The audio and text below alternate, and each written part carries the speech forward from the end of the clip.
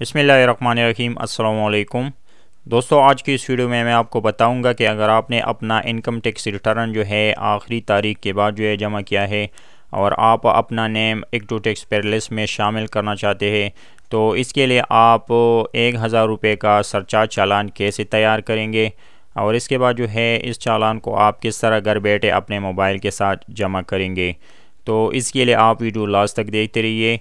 तो इसके लिए आप सबसे पहले अपने कंप्यूटर में गूगल क्रोम ब्राउज़र ओपन करेंगे और यहाँ पर आप टाइप करेंगे एफ़ बी आर यहाँ पर इस पर आप क्लिक करेंगे। यहाँ पर जो है ये फ़र्स्ट वाला लिंक जो है, इस पर आप क्लिक करेंगे।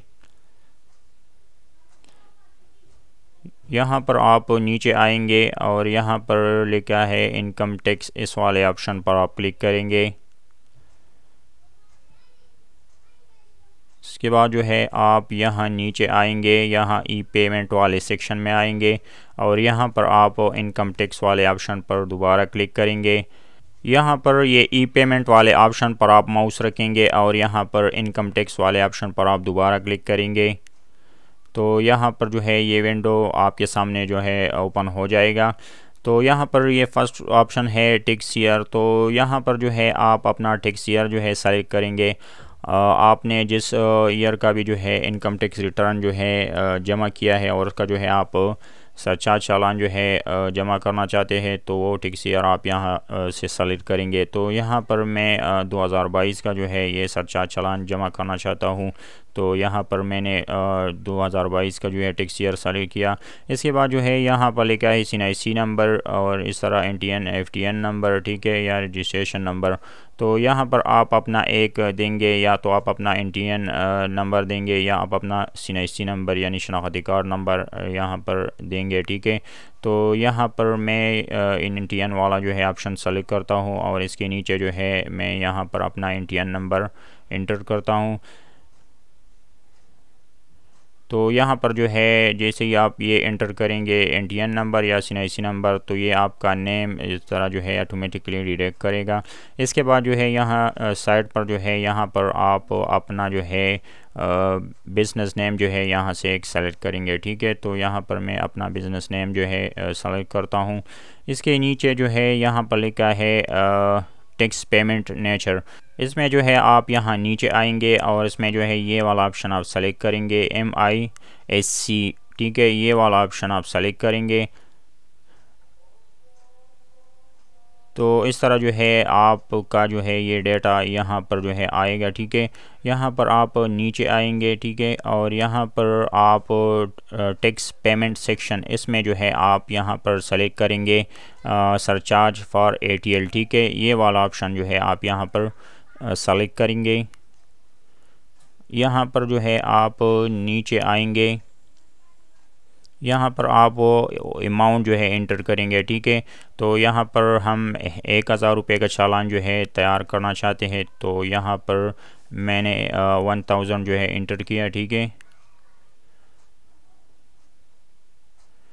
इसके बाद जो है आप यहाँ नीचे आएँगे और यहाँ पर जो है आप वो अमाउंट दोबारा इंटर करेंगे वन थाउज़ेंड और यहाँ पर नीचे लिखा है ईमेल एड्रेस तो यहाँ पर आप अपना ईमेल एड्रेस इंटर करेंगे, आपका जो भी पर्सनल ईमेल हो, जो आपने अपने इनकम टैक्स में जो है दिया हो, ठीक है? इसके बाद जो है आप यहाँ नीचे जो है क्रिएट इस ऑप्शन पर आप क्लिक करेंगे। यहाँ पर आप कन्फर्म पर क्लिक करेंगे। तो यहाँ पर आप देख सकते हैं हमारा पीस आई नंबर जो है सक्सेसफुली क्रिएट हो चुका है, ठीक है। इसके बाद जो है, आप यहाँ पर लिखा है प्रिंट इस पर आप क्लिक करेंगे और इसकी जो है कापी आप अपने कंप्यूटर में डाउनलोड करेंगे। ये आप देख सकते हैं, इसकी कापी हमारे जो है कंप्यूटर में डाउनलोड हो चुकी है, ठीक है। ये जो है, हमारा जो है चालान है, ठीक है? एक हज़ार रुपये का चालान है।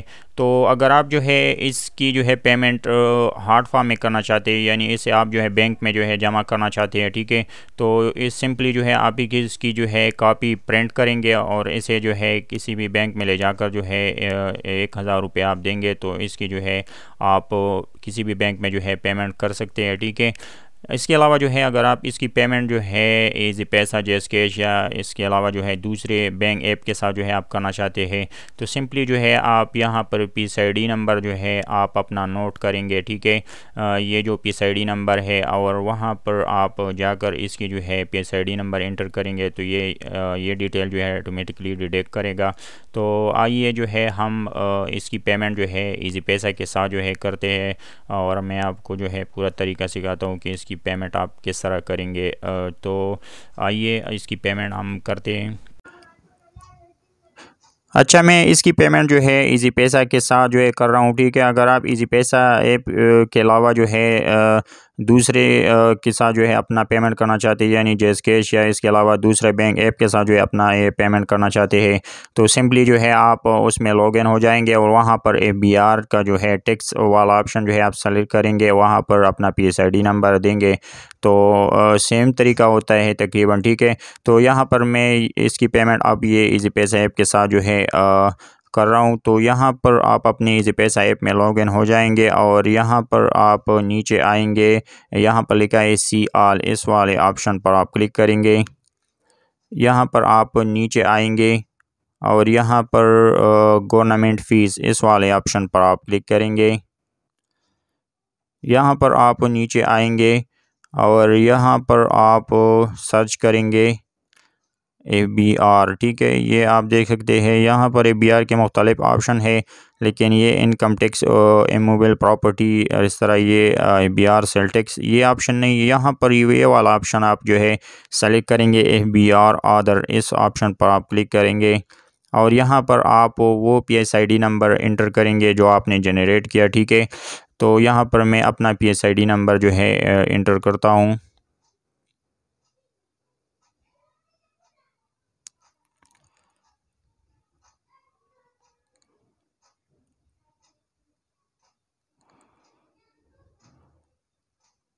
P S I D number enter करने के बाद यहाँ नीचे आप नेक्स्ट पर क्लिक करेंगे।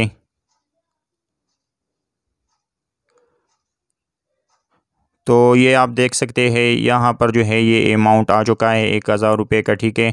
इसके अलावा जो है यहाँ पर आपका नेम भी जो है यहाँ पर नीचे आएगा कंज्यूमर नेम ठीक है। तो इसको पे करने के लिए यहाँ पर नीचे पे नाव पर आप क्लिक करेंगे।